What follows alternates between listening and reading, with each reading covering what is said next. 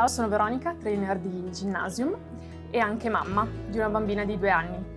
Spesso le ragazze vengono in sala da me e mi dicono che sono incinta e sono preoccupate su cosa possono fare a livello di allenamento da noi in sala.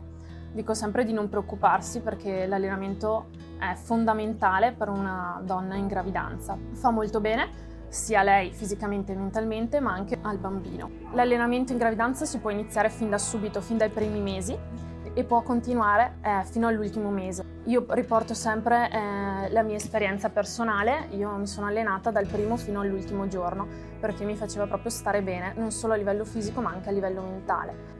E il postpartum, avendo fatto l'allenamento prima, è stato molto più semplice e facile. E mi sono ripresa prima, avevo più energia, ho ricominciato ad allenarmi prima.